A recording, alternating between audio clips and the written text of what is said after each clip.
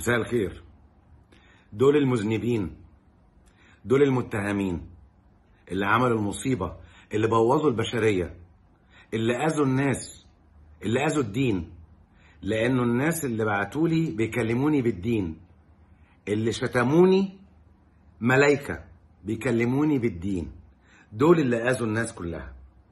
هم دول البتين الكبار قوي دول هم دول اللي أذوا الدنيا كلها.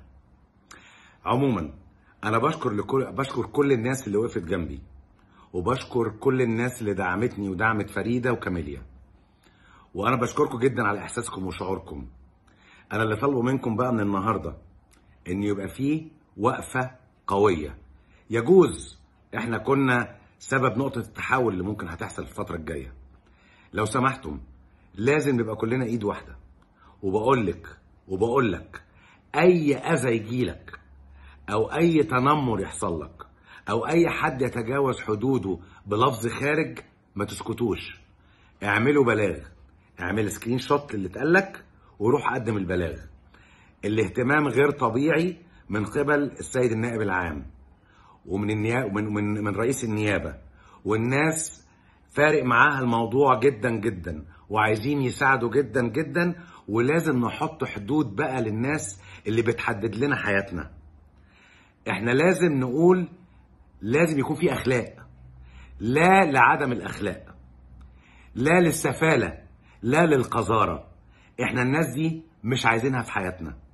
مش هيحصل كده إلا لو انت وانت وقفتوا جنب بعض واللي يقدر يساعد التاني يجيب ال account بتاع فلان والمكان بتاع لازم بقى تنشطوا شوية وما تسكتوش وتعملوا بلاغات متتالية. متتالية لمباحث الإنترنت. في application بينزل بيتملي من مكتب النائب العام تقدموا بلاغاتكم وتحطوا ال screenshots بتاعتكم عليها وهيتخذ اللازم. زي ما أنا دلوقتي بيتخذ معايا اللازم. دول بناتي اللي اتهانوا. دول بناتي اللي اتجرحوا. علشان أنا كنت بس فرحان بيهم. فخدت على دماغي جامد. بس إيه؟ الرد هيبقى جامد قوي. وبين بيني وبينكم الأيام. وهتشوفوا حد فيكم عايز يقول حاجة بنات؟ عايزة أقول إن أنا اتهنت واتأذيت وعايزة حقي وحقي هيرجع لي إن شاء الله. بس. تمام. كمالي عايز تقولي حاجة؟ آه ناس كتير أوي شتمتني وشتمت بابايا. أنا محبش الناس تشتم بابايا. ماشي محبش أشوف بابايا بيتهزق. وأنا أحب آخد حقي. تمام. وأنا بقول لكم إن حقكم هيرجع لكم ما تقلقوش. وأي حد هيتعرض لأي أذى أو أي إهانة هيجي له حقه لغاية عنده.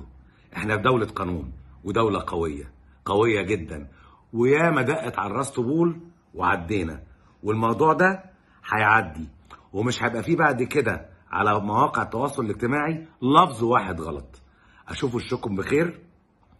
وربنا يوفقنا وربنا ينجحنا وربنا هينصرنا إن شاء الله. أنا مستني بقى الناس الملائكة يردوا علينا ويقولوا لنا كلام علشان كله هيبقى بحسابه. سلام عليكم.